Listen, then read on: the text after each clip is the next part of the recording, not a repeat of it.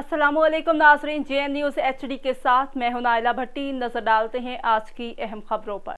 मियाँ चन्नू दरबार रोड पर वापिडा हुकाम की जानब से लगाई गई ट्रॉली शहरियों के लिए दर्द सर बन गई। ट्रांसफार्मर जलने से गुजशत चार माह से ट्रॉली लगाकर मुतबादल बिजली तो चला दी गई, लेकिन रोड पर खड़ी ट्रॉली ने गुजरने वालों को मुश्किल में डाल दिया। मियाँ चन्नू से हमारे deputy bureau chief Khizar Hayat पिलोच की तफसीत के मुताबिक दरबार रोड पर वापड़ा हुकाम की जानब से लगाई गई ट्रॉली शहरियों के लिए दर्द सर बन गई। ट्रांसफार्मर जलने पर गुजशत चार माह से ट्रॉली लगाकर मुतबादल, बिजली तो चला दी गई, लेकिन गुजरने वालों को मुश्किल में डाल दिया। इस मौका पर गुफ्तु करते हुए शहरियों का कहना था कि दरबार रोड पर वापिडा की जानब से लगाई गई ट्राली के गिर्द हफास्ते बाढ़ न होने के बायस कोई भी नाखुशगवार हादसा पेश आ सकता है। वापिडा हुकाम को बार दरख्वास्तें दी, मगर कोई सुनवाई नहीं हुई। शहरियों का अला हुकाम से नोटिस लेकर ट्रांसफार्मर पोल पर शिफ्ट करने का मुतालबा।